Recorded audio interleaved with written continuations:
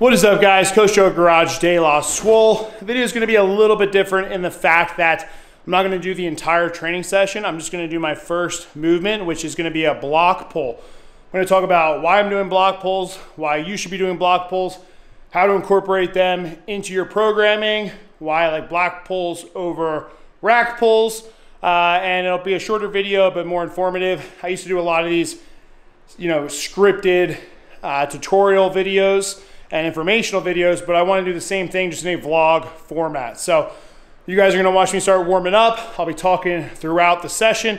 Hopefully you'll learn some things, use it for your programming, and we'll have a good one.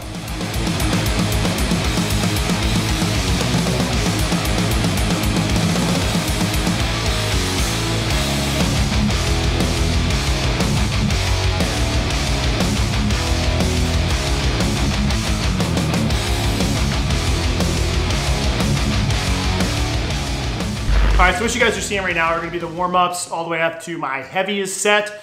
Now, prior to this, I did do some other warm-up drills and I'll put a video or playlist above that you can try depending on how your body's feeling. Typically, if I need more time to warm up, I'll do one of the videos that's above. If not, sometimes I just warm up with a barbell and then gradually work up in weight.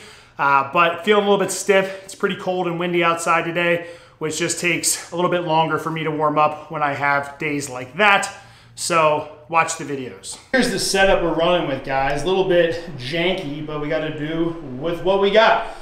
So since the garage is a little bit angled, the bar is typically going to roll forward. So to stop that, I just have a sandbag there. And on the other side, I just have a slam ball. Uh, but these blocks are actually from Ursinus College, which is pretty cool. So a guy I knew, he was a strength conditioning coach at Ursinus. They were getting rid of a ton of stuff, kind of clearing house on their weight room. So I was able to pick those up. Uh, so this is the setup I'm rolling with. Uh, you guys could use bumper plates. You could use better blocks than I have. You could also use something like wagon wheels, which I have right here. So it all depends on what height you're looking for. But we have the Titan wagon wheels. We also have the Rogue uh, wagon wheels that you guys would be able to use depending on the height. And I'll talk more about that as we get into it, but I just want to show you how I'm setting it up and we'll continue on with the lifts. Now, as we're talking, I want you guys to think about this video in terms of strength for the deadlift, not hypertrophy. There's a lot of other ways to strengthen or grow the muscles in the posterior chain that I would recommend for hypertrophy versus strength training. So this is, I wanna increase my deadlift or areas in my deadlift and I would use block pulls to do that in this fashion. So one of the biggest things right off the bat is figuring out what height do you want to do your block pulls from. Now, typically when I look at my deadlift, I get stuck right around the knee area or sometimes even just below the knee. So I find that doing a block pull is gonna be beneficial because it's gonna help strengthen that position in my deadlift over time. So when I do go to pull heavy, I can easily get through that sticky point. Now, rule of thumb for me and what has worked best for the athletes that I coach is find that sticky point. So say it's gonna be right below your knee. Well, I actually wanna start the pull about an inch or two below that sticky point so that we're building the strength through that range of motion, not just starting there, if that makes sense.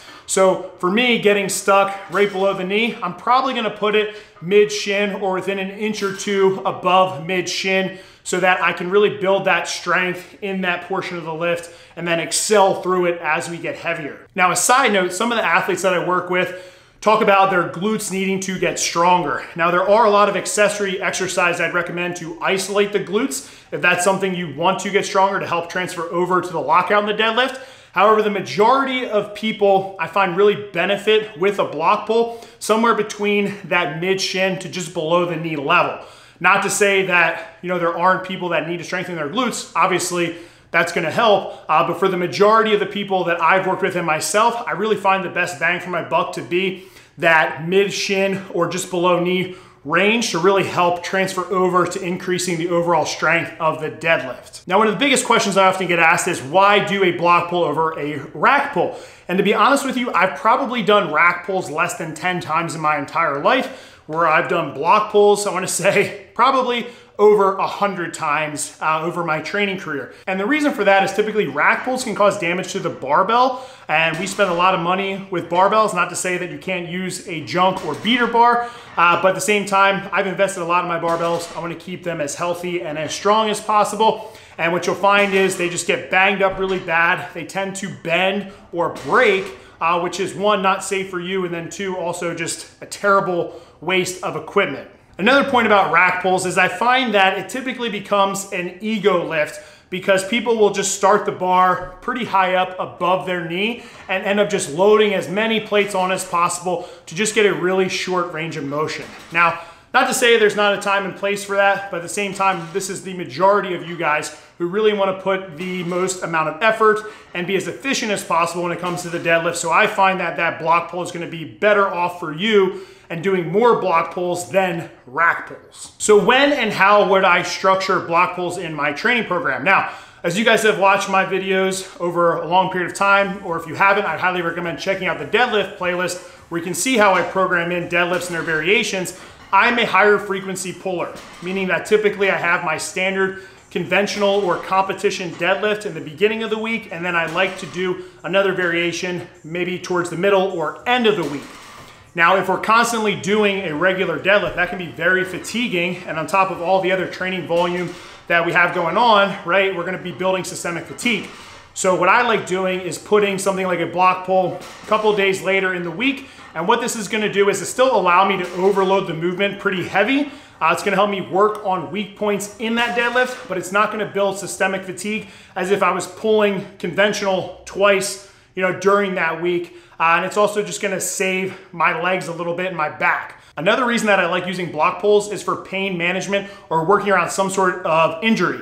I found in the past when I have either a low back tweak or something going on that's an issue when I pull conventionally from the floor, if I just change that range of motion slightly, I'm able to still get that deadlift or hinge movement pattern in without having as much pain or no pain at all. So just play around with it. If you find that you have a tweak or an issue when you're pulling from the floor, play around with different ranges of motion or just play around with the intensity as well. So you're still gonna be doing a block pull. Maybe you're not going as heavy, but it's still better than nothing. So just a great way to work around injury or pain management and still allow you to get hinging or pulling volume in throughout your week. Lastly, you may be watching this video and you may say, hey, Coach Joe, I'm not gonna be a power lifter or a strongman. I don't necessarily care so much about my deadlift.